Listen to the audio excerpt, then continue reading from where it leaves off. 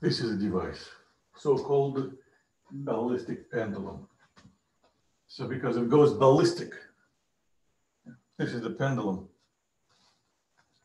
And uh, this is a spring gun. I can put a ball and shoot a ball into this catcher and the catcher should catch it. Hopefully it will work. You know, it's not a standard setup, homemade.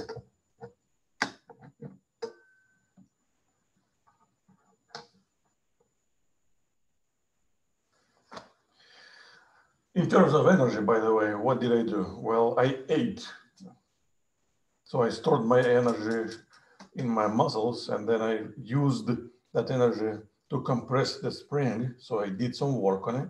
Now the spring stores energy and technically that's a potential energy because it potentially could be used. And if I let it go, it will push on the plunger and the piston will hit the ball. The ball will gain kinetic energy, gets into this catcher, and that energy can't disappear. So the catcher will begin moving.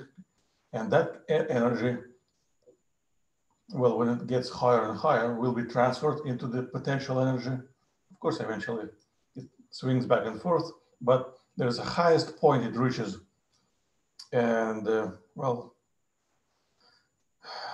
in the past, a device like that was used to measure how fast the bullet shot of a rifle would move because measuring the height, we could figure it out.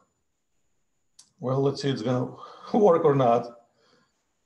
Fingers crossed. It worked. I can see the ball inside. That's why I needed this so it wouldn't get out. So I had to catch it. That's why we call it a catcher. So uh, the ball was flying out. A ball, of course, represents the bullet. It has some mass, and this uh, catcher has some mass. So, and then they basically collide and they move and then they may swing it back and forth for a while. That's it. That's what the ballistic pendulum is.